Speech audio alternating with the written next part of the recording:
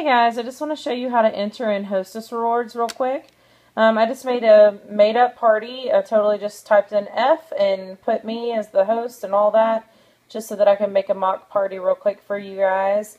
And I totally do this if somebody has a question, they don't know if um, if they're going to get certain things for Hostess rewards, I'll just be like, hang on a second, and I'll check. And then I'll just put in like something fake real quick just so that I can test it and see.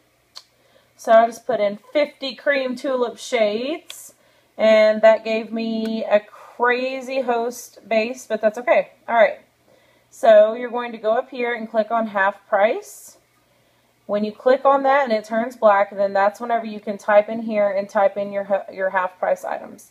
Um, for the free stuff that they earn, that is called the host credit. Again, you would click on that. Now there is a a special little half price hidden thing up here. It is called the Perpetual Party Host Reward. You will then select um, the person that you're going to give it to and type it in. You can do, use it as a half price item, just like a regular half price item over here.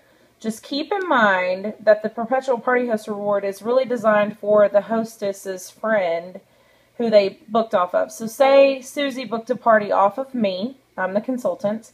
So I would then get the perpetual party host reward whenever Susie has her party. But at Susie's home party, Joanne booked off of Susie.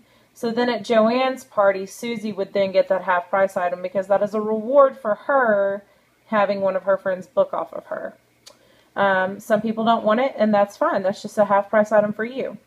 Whenever you're closing your party, make sure that you look here. You've earned eight. You have one perpetual party host reward you have $300 in hostess credit.